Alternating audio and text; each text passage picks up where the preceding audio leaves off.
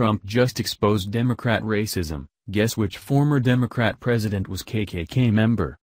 It's become all too common for liberals to insult the conservatives in this country, calling them every sort of name from racist to xenophobe to Islamophobe.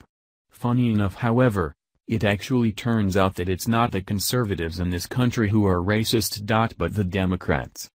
Trump just released the much-anticipated JFK files, and after pouring through them, vigilant citizens have found several interesting secrets.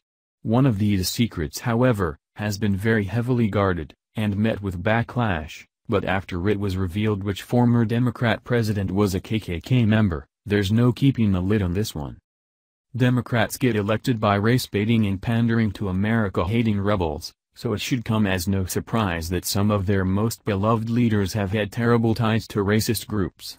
They repeatedly shame and victimize the black community into squalor and poverty, also that they can make a quick buck and get some power. After the past eight years of Obama however, it seems that their reign of power is coming to an end, and what's worse is that their sick little secrets are being exposed left and right.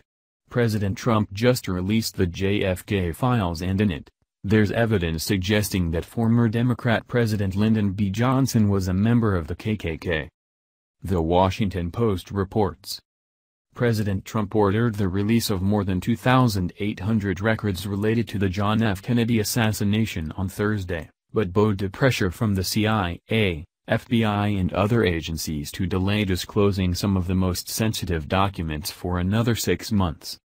Even so, the thousands of pages that were published online by the National Archives Thursday evening describe decades of spies and surveillance, informants and assassination plots. More than a dozen reporters and editors for The Washington Post combed through the documents on Thursday and Friday. Here are some of the wildest things they found, some of which have been reported before and some of which are new.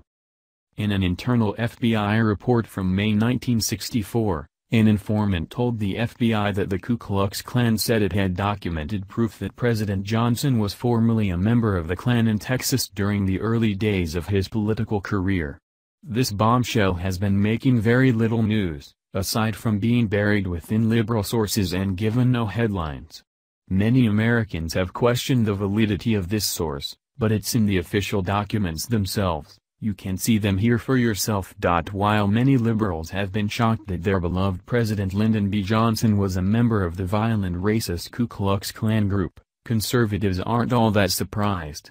We know that many Democrats have hated minorities for decades, but rather than coming out and say it, they hide it behind sneaky policies. They would rather virtue signal, and act as if they're helping impoverished communities by giving them welfare and removing all motivation. Conservatives understand that sometimes a little bit of tough love is required, and if President Trump's speeches are any foreshadowing, it seems that the Dems will be getting a lot to come.